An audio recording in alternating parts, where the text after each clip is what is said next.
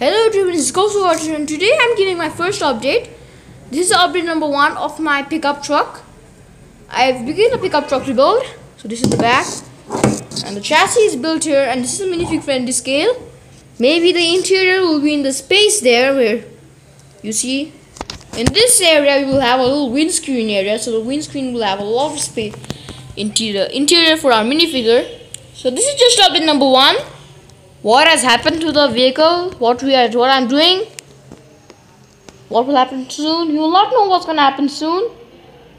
But this is a very nice vehicle. I will be impressed with the future. But right now, I'm really impressed with the chassis. Yeah, it's just strong enough. It's like strong enough.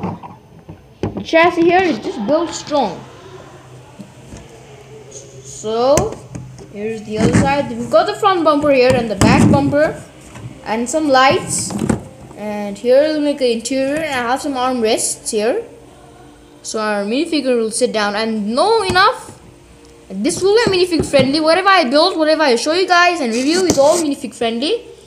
Because I buy Legos at stores which are minifig friendly. Nothing which is mini. Because like what to do with those. Make it a little toy store or something. Like I don't have any boxes of Legos in Legos and what to do? Make it something random or break it down? Instead of breaking it down I just leave it. So that is it for today's video. Just to update number one of what's been going on. Update number two and other updates will come in the soon later future. So uh, like subscribe. Uh, so this is Ghost Watcher signing out